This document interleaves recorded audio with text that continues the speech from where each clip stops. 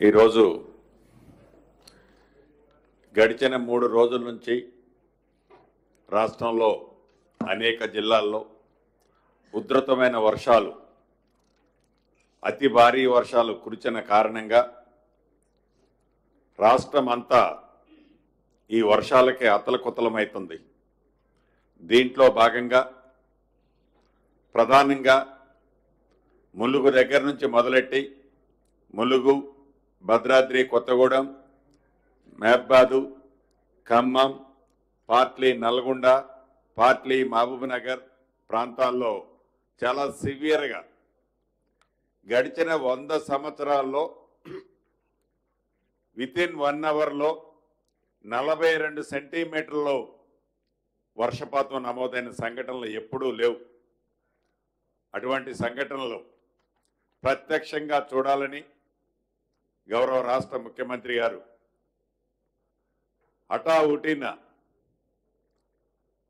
Helicopter పనిచేయకపోయినా road మార్గంలో నిన్నంతా ఖమ్మం జిల్లాలో ప్రత్యక్షంగా నష్టపోయిన ప్రాంతాల్లో పర్యటిస్తూ రాత్రి ఖమ్మం జిల్లాకు సంబంధించిన రివ్యూ మీటింగు అధికారులకు దిశ నిర్దేశించి మళ్ళీ ఉదయం లేచిన దగ్గర నుంచి ఇటు మెహబాద్ జిల్లాకి కూడా రావటం జరిగింది. వారికి ముఖ్యంగా మెహబాద్ జిల్లా ప్రజల పక్షాన నా పక్షాన ఇన్ఛార్జి మంత్రిగా అభినందనలు మనస్ఫూర్తిగా కృతజ్ఞతలు తెలియజేస్తున్నాను. అదే రకంగా వేదిక మీద ఉన్న సహచార మంత్రివర్యులాలు సీతక్క గారు జిల్లా నా సహచార ఎమ్మెల్యేలు ఎంపీ గారు ఎమ్మెల్సీ గారు ఎస్పీ గారు కలెక్టర్ గారు ఇంకా జిల్లా ముఖ్య అధికారులంతా ఉన్నారు. వారందరికీ వేమ నరేంద్ర అన్న? ఇంకా మీడియా మిత్రులందరికీ మనస్ఫూర్తిగా హృదయపూర్వక నమస్కారం. ముప్పై ఒకటో తారీఖు రాత్రి సుమారు రెండు రెండున్నర నుంచి తీవ్రమైన వర్షాలు వల్ల నిజంగా ఈ జిల్లాలో చాలా ప్రాంతం ఎఫెక్ట్ అయింది.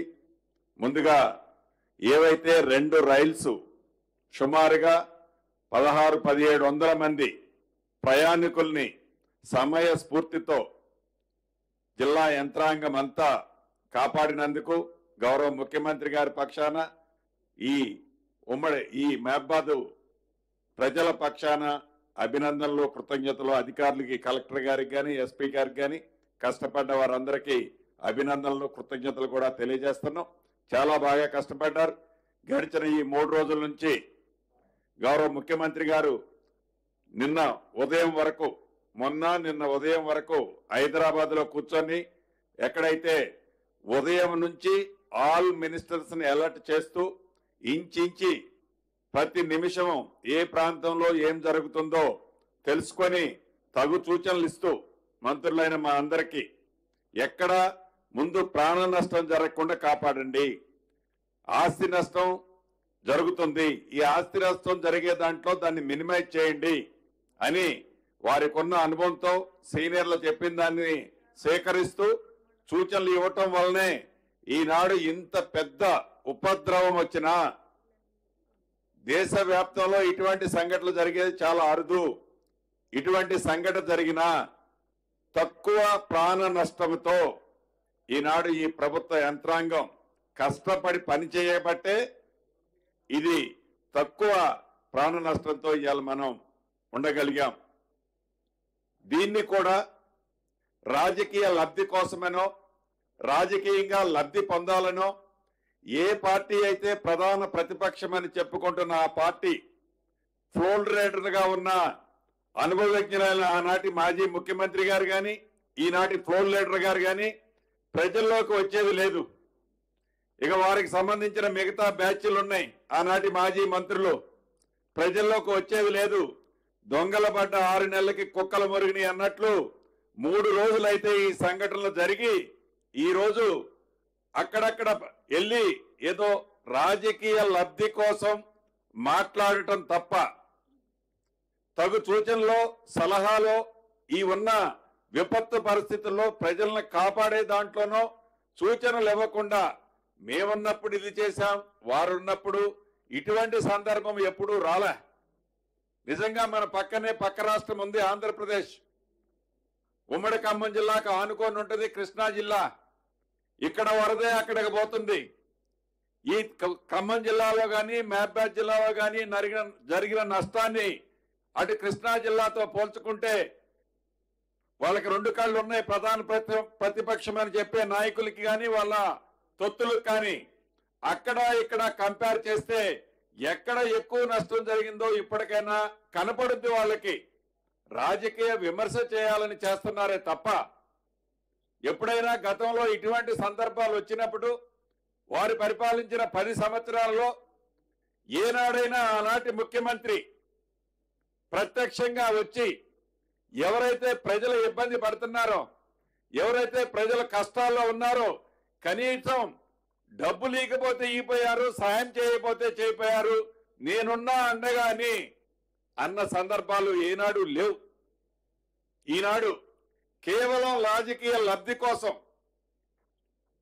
కేవలం వారి స్వలాభం కోసం మాట్లాడుతున్నారే తప్ప ప్రజల క్షేమం కోసమో ప్రజలకు జరిగిన నష్టం నష్టంలో కష్టంలో ఈ ప్రభుత్వానికి మంచి సూచనలు ఇస్తే తప్పకుండా బేషిజాలకు పోకుండా ఈ ప్రభుత్వం తీసుకుంటది అని అనేక సందర్భంలో గౌరవ ముఖ్యమంత్రి గారు మంత్రులు మేము చెప్పాం.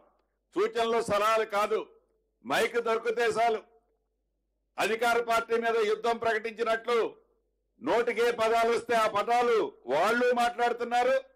వాళ్ళకి సంబంధించిన కొద్ది మందితో అది నోటికి పట్టరాని భాషతో మాట్లాడిపిస్తున్నారు. నిజంగా దురదృష్టకరం. చాలా బాధాకరం. ఇప్పటికైనా వారు మంచి సూచనలు ఇస్తే తప్పకుండా సేకరిస్తాం. గౌరవ ముఖ్యమంత్రి గారు నిన్న ఇయ్యాల చెప్తున్నారు. ఏవైతే వారి దగ్గర గత ప్రభుత్వంలో ప్రజల సొమ్ము కొల్లగొట్టి దాచుకున్న డబ్బు డబ్బుందో ఆ డబ్బులో ఒక వెయ్యి కోట్లో రెండు వేల కోట్లో సీఎం నిధి నిధులకు ఇస్తే తప్పకుండా వాటికి మేమింత కలిపి ప్రజలకు సేవ చేయడానికి ఈ ప్రభుత్వం ఉందని ఆ దిశగా ఆలోచించాలని కూడా వారిని కోరుకుంటూ అధికారులకు ఇందాక ముఖ్యమంత్రి గారు అన్ని సూచనలు సలహాలు ఇస్తారు. ఒకటి చెప్పేది డబ్బు ఎంత ఖర్చు అయినా పర్వాలేదు. ఈ ప్రభుత్వం ప్రజల ప్రభుత్వం ఇందిరమ్మ రాజ్యంలో పేదోళ్ళకి నష్టం కలగకుండా ఉండే విధంగా తప్పకుండా నేను కూడా టైం టు టైం ఇక్కడే ఉంటాను. ఇంతకుముందే గౌరవ ముఖ్యమంత్రి గారు కూడా నాకు సూచించారు టైం టు టైం నేను సీతక్క ఉంటాం. ప్రజలకు ఎక్కడా నష్టం జరగకుండా కష్టం రాకుండా ఈ ప్రభుత్వం తప్పకుండా మీకు అండగా ఉంటుందని తెలుపుకుంటూ ఇప్పుడు సహచర మంత్రివారిని సీతక్క గారిని మాట్లాడవలసిందిగా కోరుతున్నాను. గత మూడు రోజులుగా రాష్ట్ర వ్యాప్తంగా కురిసినటువంటి భారీ వర్షాలతో మరి పెద్ద ఎత్తున రాష్ట్ర ప్రజలు తమ యొక్క పంట భూములు కానీ ఇతరత్ర పశు సంపద కానీ ఇండ్లు కానీ కోల్పోవడం జరిగింది. ఈ నేపథ్యంలో నిన్నటి నుంచి